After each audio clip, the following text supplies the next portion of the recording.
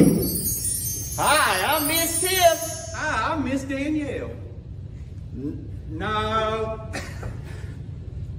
nah, I'm Mr. Nate. I'm Mr. Josh. And this is Tree Church Kids News. Attention sixth graders. Hey, sixth graders! Movement is tonight. Remember, doors open at 5.30. It's going to be an exciting time of worship, playing games, hanging out with your friends. Remember, 5.30 tonight, movement for sixth graders.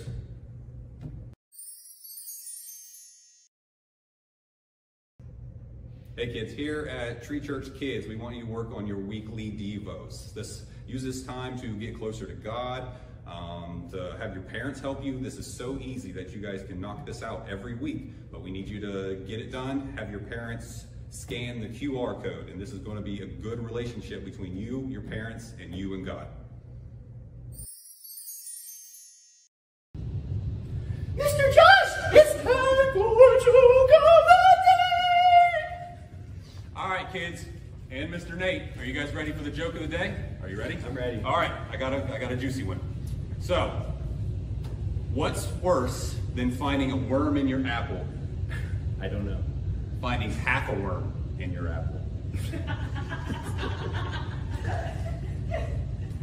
And that's it for Tree Church Kids News.